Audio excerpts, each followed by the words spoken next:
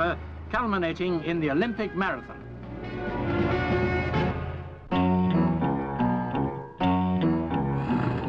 Britain's classic long-distance race on two wheels and the only event in the country that counts towards the World Endurance Championships.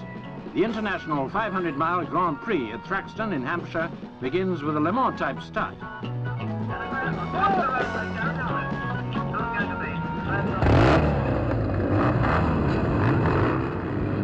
What makes it more interesting, all the machines are standard production jobs.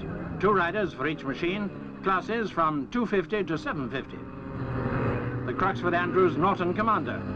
The overall winner is the first to cover 500 miles.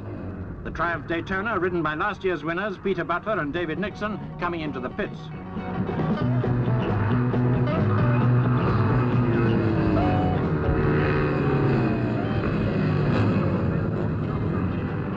Cooper Jolly Triumph Bonneville being passed by a privately entered Norton Commando. The Butler Nixon Daytona rejoins the first one of the small Suzukis, and last year's winners again.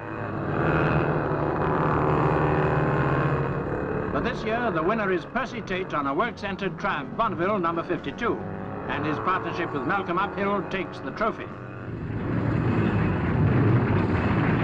Their time is a record for the race.